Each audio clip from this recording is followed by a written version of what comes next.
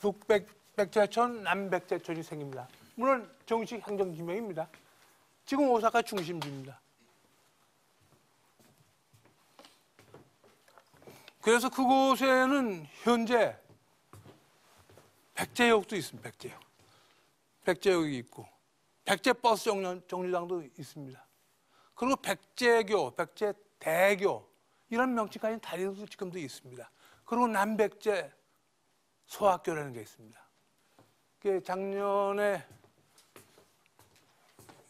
제가 그, 그 남백제 소학교의 그 니시무라 지의 그 교장을 그 충청남도 그 이왕구 지사님이랑 같이 가서 만났습니다. 그 이제 이분이 현재 그 백제 남백제 소학교 교장입니다. 남백제 우리나라 말하면 남백제 초등학교 미나미 구다라. 그 이분이요 이 학교입니다만 이분이 직접 이제 그 여러 곳을 또 제대로 안내해 줬어요. 예, 이왕구 지사님이랑 해서 여러분들을 그 이분이 백제대교도 있다 하면서 가보니까 백제대교가 있더라고요. 백제대교.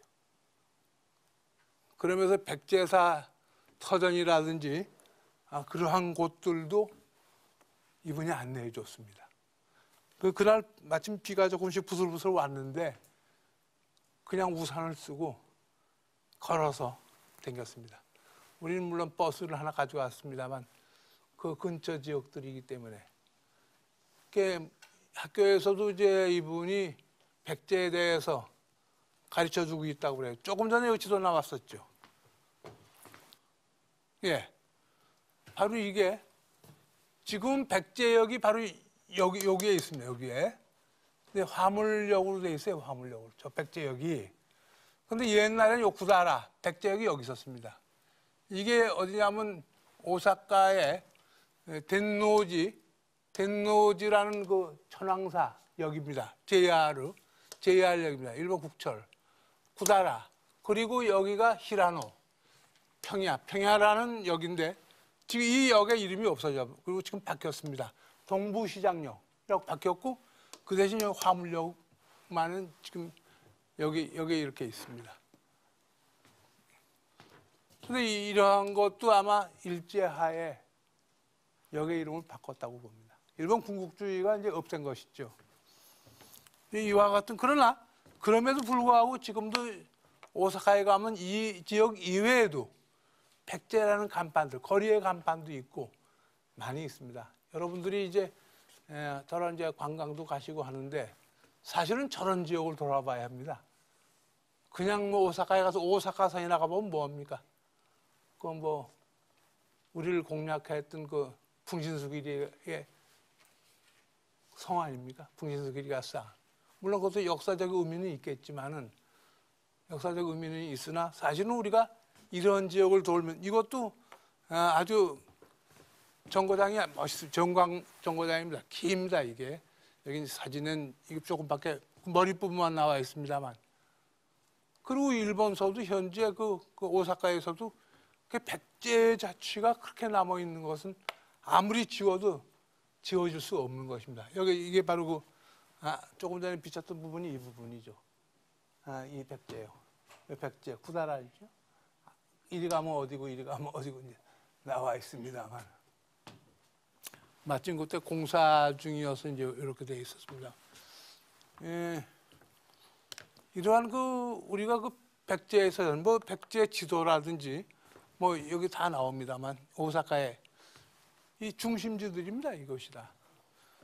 그리고 최근에는 뭐 예, 그 츠루 츠루하시라는 곳에서 백제 왕인 박사 난파진가 그 시비 건립을 했다는 걸 제가 연락 들었는데 이, 이 평야촌 바로 여기 여기도 백제교가 있는 지역인데 원래는 이게 백제천이었습니다. 이 명칭이 일본 그 학자가 쓴 1922년 22년에 쓴 그 오사카 지역 그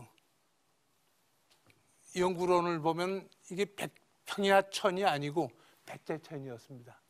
그리고 이 일대의 벌판이 백제야예요. 백제야. 백제야 뭐 백제 들판입니다. 그러니까 이러한 것을 여러분이 이제 아신다면 이제 오사카 가실 때 어떻습니까? 이것이 뭐 백제입니다. 이게 일본 마인지 신문입니다. 2007년 7월 6일자 마인지 신문. 마스이라는 기자가 쓴 기사입니다. 도레인이 토지를 토지에 터전 원형을 만들었다 이거. 오사카의 이 중심지에 백제야, 백제야, 구다라노, 구다라노입니다. 그러니까 지금은 명칭이 히라노가와지만 그때는 예, 이 이전 이전에는 구다라가와, 구다라, 백제 구다라가와입니다.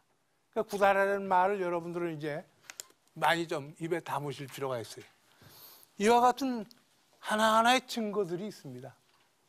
그러니까 제가 주장하는 것이 아니고 저는 이제 문헌 사학을 하기 때문에 고증을 찾아내는데 조그만 하나의 흔적을 가지고 찾아다닙니다. 일본서 이제 쭉 이건 백제대교 이제 모습입니다만 이게 이것도 이제 백제천, 백제천 구다라강 줄기입니다. 작은 줄기입니다만 이게 지금 히라노가 평야천으로 지금 박혀 있습니다. 이와 같은 우리가 예, 지역을 돌면서 하나하나 백제의 이름을 볼 때는요 정말 가슴이 울립니다.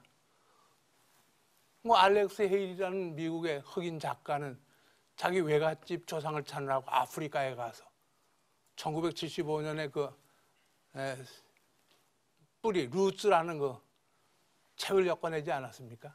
아프리카 오지에 들어가서. 그러나 일본 땅에는 이러한 자취들이 다 살아있어요. 이건 주군총이라는데 주군총. 백제 계열의 인덕 천황이 아끼던 백제인 장관입니다. 이 주군 사케노키미라는 분. 이분이 이제 그 당시 인덕 천황이라는 백제인 왕은 에, 그분은 매 사냥을 좋아했는데 백제 사람이 매를 가져오니까 죽은 죽은에게 그러면 자네는 그 그대는 그 매를 관리하는 관청을 맡아다오 그래가지고 매를 관리하는 관청의 장관으로 섭니다. 돌아간 다음엔 인덕천왕이 이분이 너무 떠나기 아쉬워서 이 비를 세워준 겁니다. 죽은 총, 사케노 기미노 즈카라고 이것도 이제 그 아까 그 에, 남백제 소학교의 그 니시무라 지에코 교장이 저희들을 안내해서 가서 그 사진도 제가 찍고 했던 겁니다. 이러한 흔적들 하나하나가 사실은 백제의 발자취를 뚜렷한 발자취를 우리가 지울 수 없다 이런 거죠. 저는 그래서 아, 역사라는 것은 발로 써야 한다고 그럽니다. 발로. 현장을 답사해야 합니다. 책에서 찾아서 그 위해서 걸어가서 봐야 합니다. 걸어가 보지 않고는 안 됩니다. 걸어가서 일일이 그 묘지고 사찰이고 사당이고 그리고 거기에 있는 문헌들을 하나하나 뒤져서 그래서 기록해야 합니다.